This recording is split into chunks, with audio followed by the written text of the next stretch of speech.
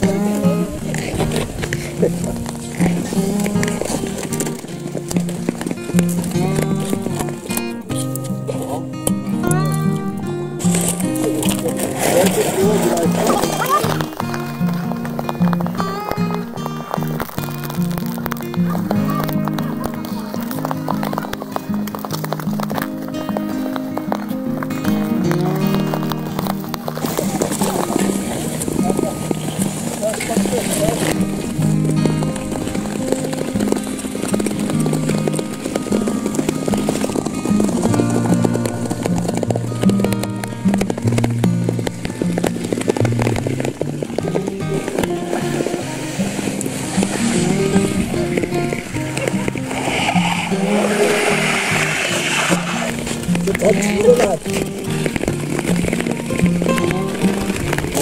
Utrolig hva man finner rundt på disse vannene. Hvis isen blir tynn, så drar det imot på den måten. Ja, det er ikke sant. Det er borti. Tynn is er det sikte mot å ta seg en steik. Men det var fint hele veien i Det var kjempefint nede der. Det var